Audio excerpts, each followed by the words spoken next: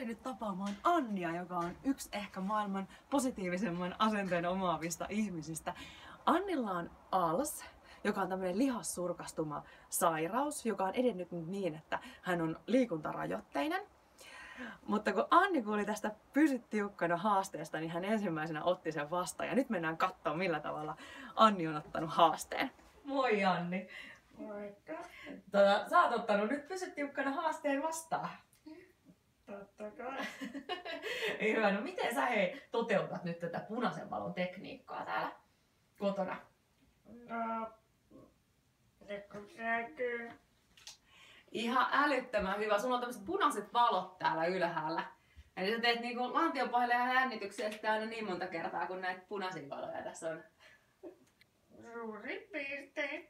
Ihan älyttömän hyvä. No mut hei, nyt tsemppiä treeneihin. Mitäs?